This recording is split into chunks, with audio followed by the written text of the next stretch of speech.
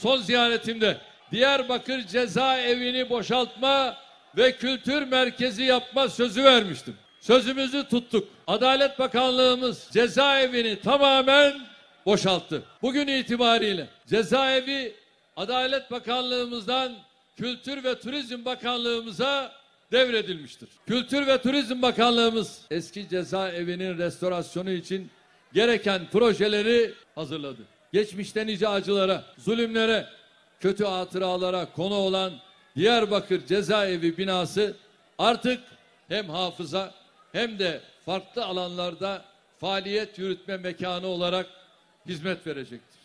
İçinde müzeden kütüphaneye, kültür ve sanat birimlerine kadar pek çok bölümün yer alacağı bu eserin şimdiden Diyarbakır'ımıza hayırlı olmasını diliyorum. Pek memnun değiller galiba. Pek memnun değiller galiba. Diyarbakır cezaevi müze oluyor. Kütüphanesiyle, sanat gösteri alanlarıyla. Artık bu acının yaygınlaştığı bu cezaevi ortadan kalkıyor.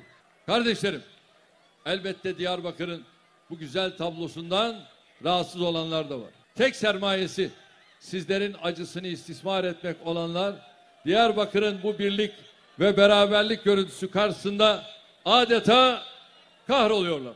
Rahatsızlıklarının bir sebebi de bunların gerçek yüzlerini sizlerle paylaşıyor olmamızdır.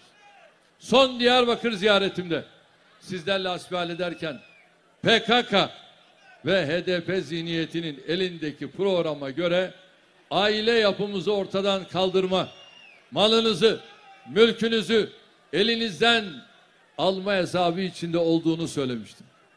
Bu sözlerimi birileri o kadar da değil diyerek kendi aklınca istisa ile karşılamıştı. İşte şimdi son tartışmaları görüyorsunuz.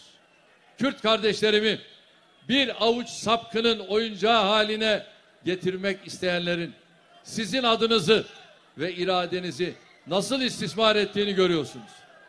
HDP denen parti görünümlü emperyalist operasyon aygıtı sadece 50 bin Kürt vatandaşımızın canına mal olan terör örgütünün payandası değildir. Bu fitne yuvası aynı zamanda toplumumuzun manevi temellerini hedef alan tüm sapkınların en başta aktörü durumundadır. Biliyorsunuz CHP kurduğu altılı masaya çantada keklik gördüğü bunları almaya tenezzül dahi etmemiş. Masanın altında onları tutma yoluna gitmiştir. Bunlar da masa altında kalmış olmanın mahcubiyetiyle gidip İstanbul'da adı sanı bilinmeyen bir grup marjinal partiyle güya ittifak kurmuşlar. İttifak kurdukları parti tabelalı örgütlerin söylemlerinin ne sizlerle ne de bu ülkenin vatanına, milletine, değerlerine bağlı herhangi bir vatandaşıyla en ufak ilgisi yoktur.